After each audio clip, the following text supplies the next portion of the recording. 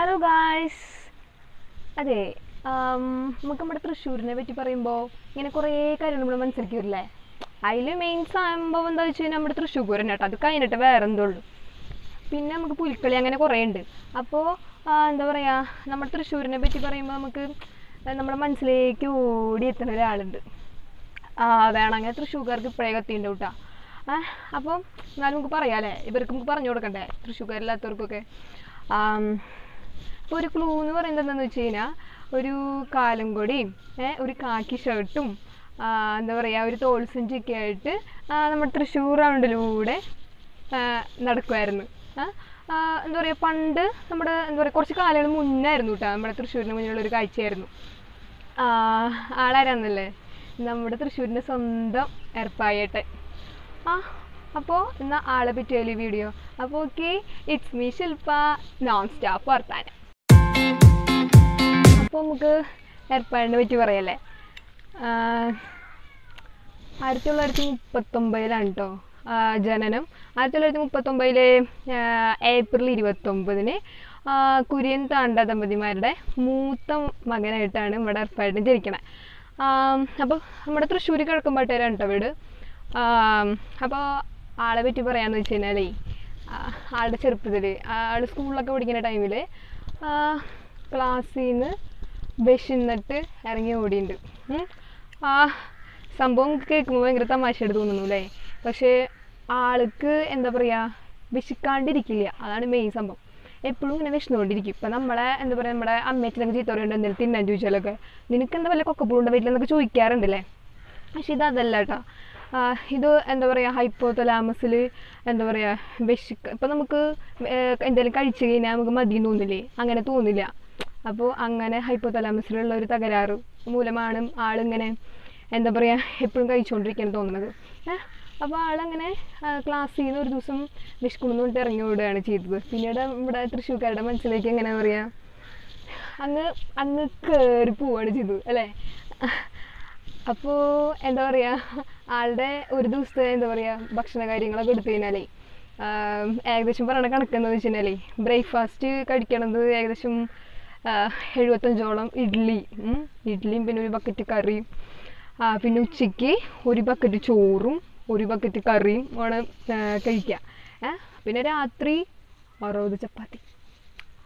ആ പിന്നെ എന്താ പറയുക നമ്മുടെ റപ്പായേട്ടൻ മെയിനായിട്ട് എന്താ പറയുക തൃശ്ശൂരിൽ ഫേമസ് ആവാൻ കാരണം തൃശ്ശൂരിൽ മാത്രമല്ല കേട്ടോ ലോകത്താകെ ഫേമസ് ആവാൻ കാരണം എന്ന് വെച്ച് കഴിഞ്ഞാൽ നമ്മുടെ റപ്പായേട്ടൻ ഒരു ഹോട്ടലിൽ ചലഞ്ച് വയ്ക്കുകയാണ് ഹോട്ടലിൽ ആൾക്കാരോട് ചലഞ്ച് വയ്ക്കും അവിടെയുള്ള എല്ലാ ഭക്ഷണവും കഴിച്ച് തീർക്കാമെന്ന് അപ്പോൾ അവർ വിചാരിക്കും ആ ഇതൊന്നും ആർക്കും പറ്റൊന്നുമില്ല. ഏ അങ്ങനെ ഹോട്ടലിലത്തെ ഫുഡൊന്നും അങ്ങനെ പെട്ടെന്ന് കഴിച്ചു തീർക്കാനൊന്നും പറ്റില്ല. അപ്പോൾ അവരും സമ്മതിച്ചു. എന്നിട്ട് അവരെന്ത് ചെയ്തെന്ന് വെച്ച് കഴിഞ്ഞാൽ ചലഞ്ച് ആക്സെപ്റ്റ് ചെയ്തിട്ട് ഭക്ഷണം കൊടുത്തു. എന്നിട്ട് എന്തുണ്ടായേ ഹോട്ടലിലത്തെ എല്ലാ ഭക്ഷണവും കഴിഞ്ഞിട്ടും ആൾ വീണ്ടും എന്ന് പറഞ്ഞുകൊണ്ടിരിക്കുക ലാസ്റ്റ് ഇവർ പോലീസ് വിളിക്കും. അങ്ങനെ പോലീസ് പോലീസ് വന്നിട്ട് നമ്മുടെ എറപ്പായനെ പോലീസ് ഒന്ന് പിടിക്കും പക്ഷേ എന്നിട്ട് ഡോക്ടറെ കാണിക്കുമ്പോഴാണ് ആൾക്ക് ഹൈപ്പോതലാമസിന്റെ എന്താ പറയുക ഈ വിശ് വിശപ്പ് എന്താ പറയുക ഇങ്ങനെ നമുക്ക് മദ്യാവാനുള്ള ആ സംഭവം ഇല്ല. ഏഹ് അപ്പോൾ അതിനൊരു തകരാറ് മൂലമാണ് ആളിങ്ങനെ എപ്പോഴും വിഷന്നുകൊണ്ടിരിക്കണേന്നാണ് പറഞ്ഞത്. അപ്പോൾ ഞാൻ വീഡിയോന്റെ ആദ്യം പറഞ്ഞ പോലെ തന്നെ നമ്മുടെ തൃശ്ശൂർ റൗണ്ടിൽ പണ്ട് എന്താ പറയുക സ്ഥിരമായിട്ടുള്ളൊരു കാഴ്ചയായിരുന്നു നമ്മുടെ എറപ്പായട്ടൻ വരുന്ന ഒരു കാഴ്ച. പിന്നീട് എന്താ വെച്ച് കഴിഞ്ഞാൽ ആളുടെ ഫുഡിന്റെ കാര്യം പറയാന്ന് വെച്ചാൽ ഇതൊന്നല്ല ഇതൊന്നും അല്ല കേട്ടോ ഇതിന് അപ്പറാണ്. ഇരുപത്തഞ്ച് കിലോ അപ്പം എത്രയാണ്? നൂറ് നൂറ്റമ്പത് പഴം അങ്ങനെയൊക്കെയായിരുന്നു ആൾ കഴിക്കണ്ടായിരുന്നത്. എല്ലാവരും ഞെട്ടിപ്പോയിട്ടുള്ള ഒരു സംഭവമാണ്. പക്ഷേ പിന്നീട് ആൾ എന്താ പറയുക നിസ്സാരക്കാരനെ നിങ്ങൾ വിചാരിക്കുന്ന കേട്ടോ കാരണം ലിംക വേൾഡ് റെക്കോർഡിൽ ആൾക്ക് ഇടം നേടിയിട്ടുള്ള ആളാണ് അങ്ങനെയാണ് നമ്മുടെ എന്താ പറയുക തൃശ്ശൂരിന്റെ നമ്മുടെയൊക്കെ മനസ്സിലേക്ക് കയറിയത് അങ്ങനെയാണ്. തൃശ്ശൂർ തൃശ്ശൂരല്ലേലും നിസ്സാരക്കാരല്ല നമുക്കറിയാമല്ലേ അല്ലേ? അല്ല ഞാൻ ആരും കുറ്റം പറഞ്ഞല്ല കേട്ടോ. ഞാനിങ്ങനെ തൃശ്ശൂരിനെ പറ്റി പറഞ്ഞപ്പോൾ അങ്ങനെ പറഞ്ഞു എന്നുള്ളൂ ഇനിയിപ്പോൾ ആരും അങ്ങനെ വിചാരിക്കണ്ട. ഞാൻ ആരും കളിയാക്കിന്നൊന്നും വിചാരിക്കണ്ട കേട്ടോ. അപ്പോൾ ആ ഇനി നമ്മുടെ പയറിനെ പറ്റി പറയാന്ന് വെച്ച് കഴിഞ്ഞാൽ ആൾ ഇങ്ങനെ ഫുഡൊക്കെ കഴിച്ച് ഇങ്ങനെ പോവായിരുന്നു. പക്ഷെ ആൾക്ക് എന്താ പറയുക പിന്നീട് ഈ പ്രമേഹവും അങ്ങനെ അതിനോട് റിലേറ്റഡ് ആയിട്ടുള്ള കുറച്ച് അസുഖങ്ങളൊക്കെ വരികയുണ്ടായി. അങ്ങനെ ആൾ കുറച്ചു നാൾ അങ്ങനെ എന്തോ ഈ കുറേ ഭക്ഷണം കഴിക്കുന്നതിൽ നിന്ന് എന്താ പറയുക ആൾ മാറി നിൽക്കുക ചെയ്ത്. ആൾക്ക് അങ്ങനെ കുറേ ഭക്ഷണം കഴിക്കാനൊന്നും പറ്റാണ്ടായി ലാസ്റ്റ് ലാസ്റ്റ് ആൾ മരണപ്പെടുന്നത് എങ്ങനെയാന്ന് വെച്ച് കഴിഞ്ഞാൽ ഇങ്ങനെ വിശന്ന് വിശന്നിട്ട് ആണ് ആൾ മരണപ്പെടുന്നത് കാരണം പിന്നെ പ്രമേഹം അങ്ങനത്തെ കാര്യങ്ങളൊക്കെ ഉണ്ടല്ലോ. ആ അങ്ങനെ ആൾ എന്താ പറയുക രണ്ടായിരത്തി ആറിലാണ് മരിക്കണത്. ജൂബിലി മിഷനിൽ വെച്ചിട്ട്. നമ്മുടെ മിഷൻ കോട്ടേഴ്സിനോടെയുള്ള ജൂബിലി മിഷന്റെ അവിടെ വെച്ചിട്ടാണ് ഏർപ്പായിട്ട് മരിക്കണത്. അറുപത്തേഴാമത്തെ വയസ്സിൽ കേട്ടോ എന്നാലും മരിച്ചാലും എന്താ പറയുക എപ്പോഴും എന്താ പറയുക എപ്പോഴും എപ്പോഴും നമ്മുടെ മനസ്സിലുണ്ടാവും. ഐ മീൻസ് മെയിനായിട്ട് നമ്മുടെ തൃശ്ശൂർക്കാരുടെ മനസ്സിൽ എന്തായാലും ഉണ്ടാവും നമ്മുടെ ഏർപ്പായിട്ട് അല്ലേ?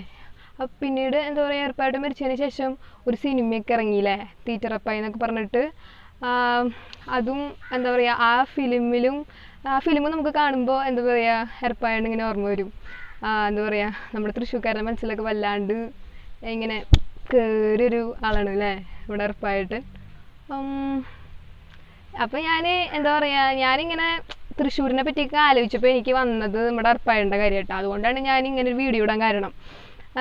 കുറച്ച് വെറൈറ്റി ആയിരിക്കും. പിന്നെ അറിയാത്തവർ അറിഞ്ഞോട്ടെ എന്ന് വിചാരിച്ചിട്ടാണ് ഞാൻ അങ്ങനെ ഇട്ടിട്ട് നമ്മുടെ തൃശ്ശൂർക്കാർക്ക് അറിയാത്തതില്ല വലിയ ബാക്കിയുള്ളവരുടെ കാര്യം പറയണം.